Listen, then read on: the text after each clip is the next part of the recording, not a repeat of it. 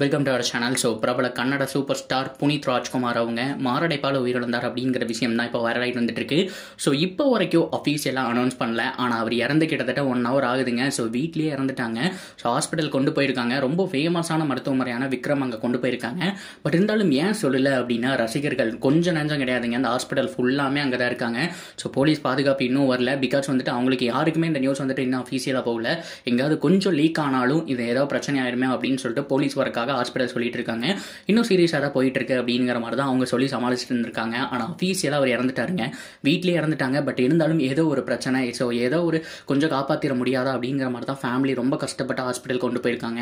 ஆனால் ரசிகர்கள் முன்னாடி சொல்ல முடியாமல் அவங்க தப்பு தவிச்சிட்டு இருக்காங்க அப்படிங்கிற விஷயம் தான் இப்போ வைரலாக போயிட்டு இருக்கு ஸோ ராஜ்குமார் அவரை பொறுத்த வரைக்கும் சொல்லணும் அப்படின்னா ஏகப்பட்ட படங்கள் பண்ணியிருக்காருங்க. கன்னட சூப்பர் ஸ்டார் நல்ல டான்சர் ஸ்மூத்தாக ஆடக்கூடிய ஒரு ஆள் அப்படின்னு சொல்லலாம். தளபதி விஜய் அவரு கூட பயங்கர க்ளோஸ் தமிழ்நாட்டில் எல்லா ஆக்டர் கூடயுமே க்ளோஸ் அப்படின்னு தான் சொல்லலாம். ஸோ விஜய் அவர் கூட பயங்கரமான க்ளோஸ் அதே மாதிரி சூர்யா அவங்க கூடயும் பயங்கரமான க்ளோஸ் தனுஷ் அவர்கள் கூடயும் இவர் ரொம்ப க்ளோஸ் அப்படின்னு சொல்லலாம். ஸோ தமிழ் மட்டும்தானான்னு கேட்டிங்கன்னா மலையாளத்திலையும் ஏகப்பட்ட நடிகர்களுடைய க்ளோஸுங்க ஸோ அது மட்டும் இல்லாமல் தெலுங்கில் பிரபாஸ் அது மட்டும் இல்லாமல் கேஜிஎஃப் நாயகனான யாஸ் அப்படின்னு சொல்லிட்டு இவர் வந்துட்டு பிடிக்காத ஹீரோவே இல்லை. எல்லாரு கூடயுமே ஒரு பர்ஃபார்ம் பண்ணியிருக்காரு. எல்லாரு கூடயுமே ரிலேஷன்ஷிப்பில் இருக்காரு அப்படிங்கிறதா குறிப்பிடப்பட வேண்டிய விஷயம்.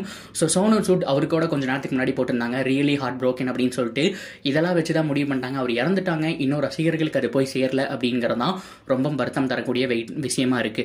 ஸோ ஃபேன்ஸ் எல்லாருமே இன்னும் கூட ஹாஸ்பிட்டல் முன்னாடி வெயிட் பண்ணிட்டு இருக்காங்க அஃபியூசல் நியூஸ்க்காக ஸோ இந்த ஒரு செய்தி கேட்டு நீங்கள் என்ன நினைக்கிறீங்க அப்படிங்கிறத சொல்லுங்க. தொடர்ந்து அப்டேட்டுக்கு நம்ம சேனலோட இணைஞ்சிடுங்க. சப்ஸ்கிரைப் பண்ணி சப்போர்ட் பண்ணுங்க.